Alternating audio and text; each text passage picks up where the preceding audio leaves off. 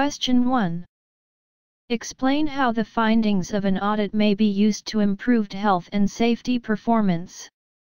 For improving health and safety performance by identifying areas of compliance and non-compliance and the reasons for and nature of the non-compliance, identifying the strengths and weaknesses of the existing system, enabling comparison and benchmarking with other similar organizations. Communicating the findings to management and staff, Informing and enabling remedial actions to be taken emphasizing the need for proactive rather than reactive measures. Aiding prioritization and the allocation of resources. Producing evidence of commitment by the organization in putting health and safety on the agenda. Encouraging continual improvement. Question 2. Outline the role of workplace health and safety inspections. Health and safety inspection would include the identification of workplace hazards, the observation of unsafe conditions or the confirmation of existing safe conditions, the identification of good practice and compliance with agreed procedures and conversely the identification of bad practice. Ultimately an impression of the existing situation at the time the inspection was carried. Question 3. Identify the active and reactive measures by which an organization can monitor its health and safety performance. Active measures Safety inspections, surveys, audits and sampling. Environmental monitoring. Health surveillance. Behavioral observation and benchmarking against the performance of other like organizations. Reactive measures, accident statistics and reports. Sickness absence rates particularly those relating to occupational ill health, incidents of reported near misses and dangerous occurrences.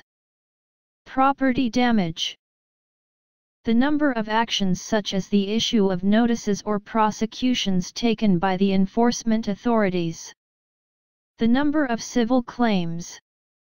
The number of complaints from workers. Question 4. Outline reasons why an organization should review its health and safety performance. Organization shall review its performance to know, to identify substandard health and safety practices and conditions, to identify trends in relation to different types of incidents in general, to compare actual performance with previously set targets.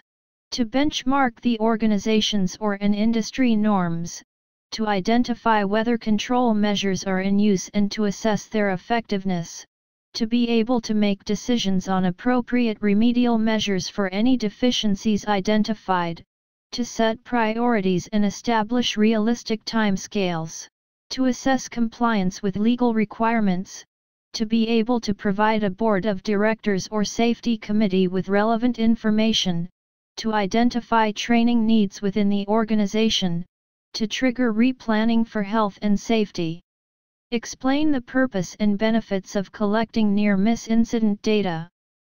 Purpose The near misses point up events that have the potential to lead to injury and their investigation could prevent recurrence. Benefits Help to identify the underlying causes of accidents. Near-miss incidents represent failures in the safety management system that should be investigated to improve the system. Help to identify inadequate procedures and breaches of the law. Provide additional data for analysis. Help to identify trends. Increase safety awareness. Improve safety culture. Question 7.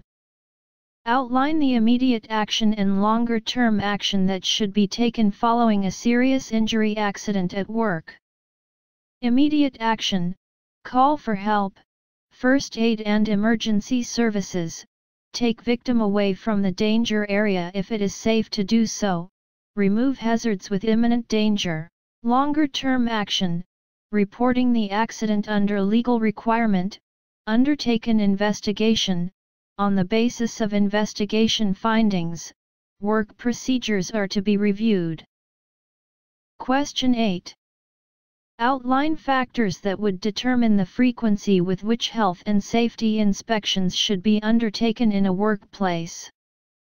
Level of risk There is evidence of particular problems in the workplace derived from previous inspections and audits or reactive monitoring.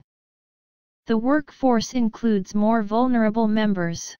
Recommendations have been made following risk assessments, justified by accident history and outcomes of accident investigations, on the basis of reports of ill health or health surveillance, required by enforcing authorities, insurers, or manufacturers' recommendations, there are new processes, new equipment, or changes to safe system of work.